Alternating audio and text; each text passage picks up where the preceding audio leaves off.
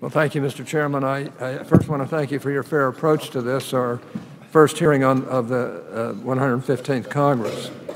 You've scheduled and you've structured this hearing in, in line with this committee's precedents. In fact, you're including more witnesses in this hearing than uh, the past average for Attorney General nominees.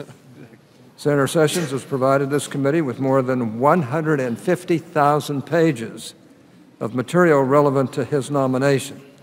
That is 100 times uh, what Attorney General Lynch provost and almost 30 times what Attorney General Holder provided. This material comes from someone we know, someone many of us have served with in the Senate and on this very committee. Yet some on the far left will stop at nothing to defeat this nomination. They oppose this nomination precisely because Senator Sessions will not politicize the Justice Department or use its resources to further a political agenda.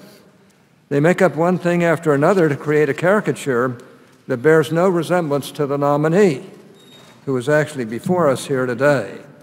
Now, I've been on this committee for a long time, and I've seen these dirty tactics used before, and they're not going to work this time. Senator Sessions, it sounds a little strange to say this, but welcome to the Senate. the Senate Judiciary Committee. I'm sure there will be some need to uh, address false claims and fabricated charges during this hearing. Believe it or not, however, I actually have some questions about issues and policies that uh, you will be addressing when you become Attorney General.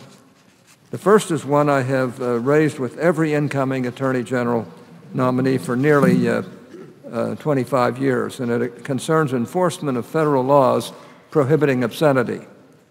In the 108th Congress, you introduced Senate Concurrent Resolution 77, expressing the sense of the Congress that federal obscenity laws should be vigorously enforced throughout the United States.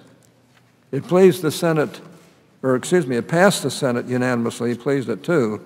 In fact, it is the only resolution on this subject ever passed by either the Senate or the House.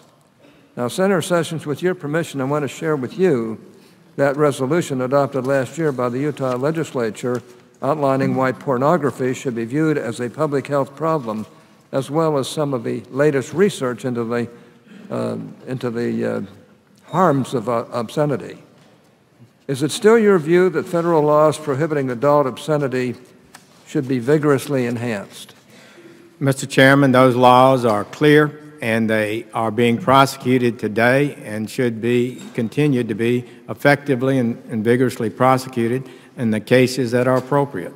In making this a, a priority for the Justice Department, would you consider reestablishing a specific unit dedicated to prosecuting this category of crime?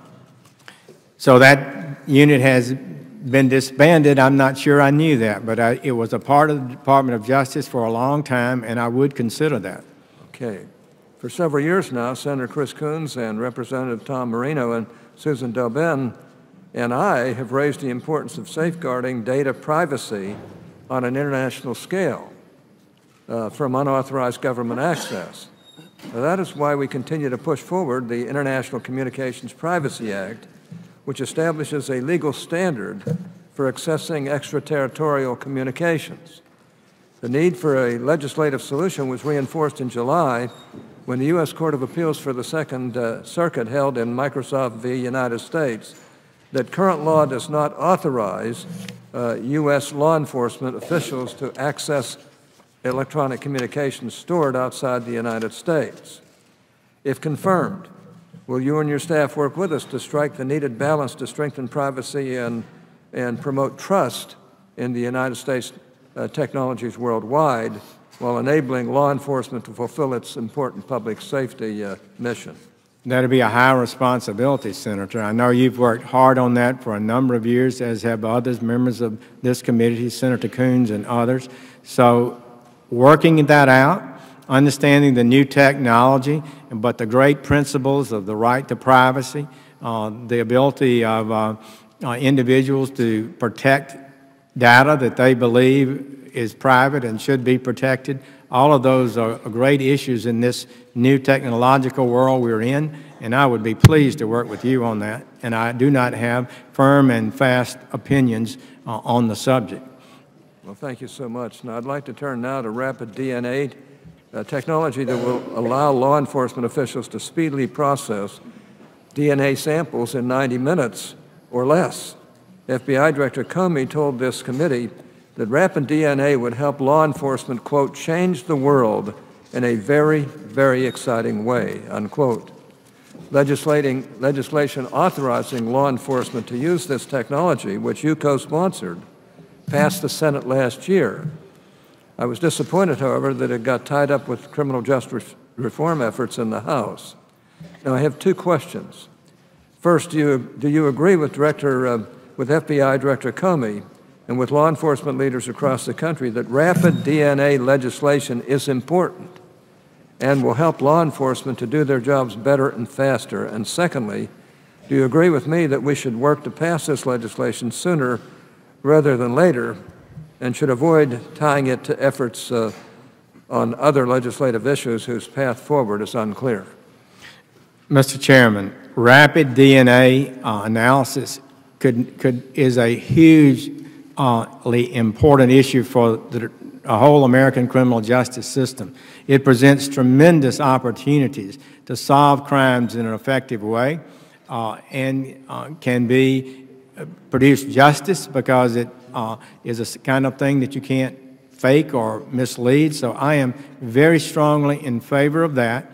In my personal view, after many years in the law enforcement community, is that one of the biggest bottlenecks, colleagues, of all of our laws involving uh, prosecutions of criminal activity is the bottleneck of the uh, scientific analysis, the forensic sciences where we fail sometimes to get DNA back, fail to get back fingerprint analysis, fail to get back uh, drug analysis, yeah. chemical analysis, and all of this slows down and stops cases that should long since have been brought forward and disposed of.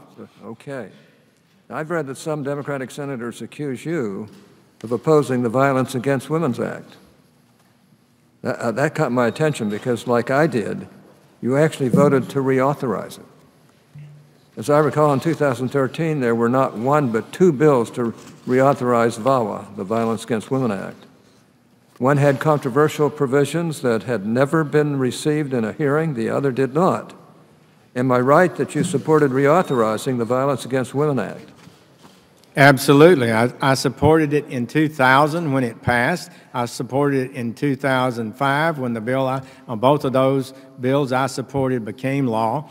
And then in this cycle, Senator Grassley had a bill uh, that I thought was preferable, uh, and I supported his bill that actually had tougher penalties than the other bill. And it is kind of frustrating to be accused of opposing uh, VAWA, the Violence Against Women Act, when I have voted for it in the past. There were some specific add-on provision in the bill that caused uh, my concern and I think other people's concern. And, Mr. Chairman, I ask consent to place in the record an op-ed published in USA Today on this subject by Penny Nance, President, President of Concerned Women uh, for America, the nation's largest public policy women's organization, if you can. Without objection, it will be included. Now, I have a question about the Justice Department's Civil Rights Division.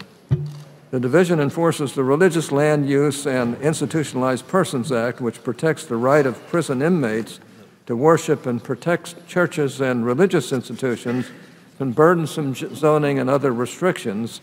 Uh, so I introduced this legislation in 2000. It passed without objection in both the Senate and the House. I would note for the record that next Monday, January 16th, is Religious Freedom Day. I hope that you will make the religious freedom of all Americans a priority under your leadership. The Civil Rights Division also has a unit dedicated to combating human trafficking. It was created in 2007, and one of my former Judiciary Committee counsels, Grace Chung Becker, was its first uh, head. Perhaps you could com comment on the significance of issues such as religious freedom and human trafficking and why it's important to include them within the civil rights agenda of the department. Mr. Chairman, religious freedom is a great heritage of uh, America. We respect people's religion. Uh, we uh, encourage them to express themselves and to develop their relationships with the higher power as they choose. Uh, we respect that. It's mandated in the Constitution. But there are situations in, in which uh, I believe we can reach accommodations that would allow the religious beliefs of persons to be uh, honored in some fashion as opposed to uh, just dictating everything uh, under a single provision or policy. So I believe you're correct. Uh, we should recognize you know, religious free- freedom. It will be a very high priority of mine. Well, that means a lot to me. Now, Mr. Chairman, let me close by asking consent to place in the record letters from the National Center for Missing and Exploited Children and the Boys and Girls Clubs of America. They attest to Senator Sessions' work on behalf of the vulnerable children and young people. And I also ask consent to place in the record a letter supporting uh, this nomination from nearly two dozen men and women who have served as Assistant Attorneys General in 10 different offices and divisions. They say that as both U.S. Senator and U.S. Attorney, quote, Senator Sessions has demonstrated a commitment to the rule of law and to the even-handed administration of justice. I could not agree more. Without objection, Thank you. uh, those will be included. Uh, Thank you. Thank you, Mr. Chairman, and uh,